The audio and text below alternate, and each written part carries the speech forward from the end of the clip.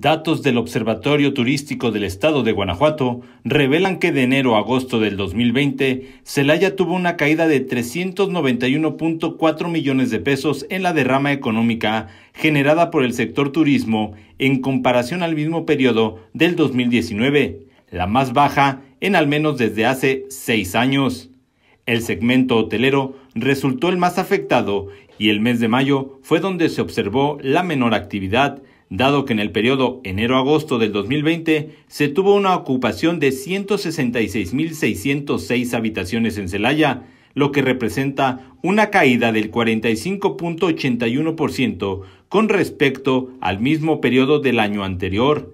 En los últimos cuatro años, el número de habitaciones disponible en Celaya aumentó en un 49%, mientras que en condiciones normales, sin el efecto de la pandemia, la demanda de habitaciones se incrementó un 13%. En Celaya, el gasto por noche para los turistas es de 1.125 pesos por cada 100 pesos de derrama económica generada en el sector turismo en el estado, 8.42 pesos se generan en Celaya. En la actualidad, hay 76 hoteles con una capacidad de 4.162 habitaciones, que representa el 12.85% de la capacidad total en el estado.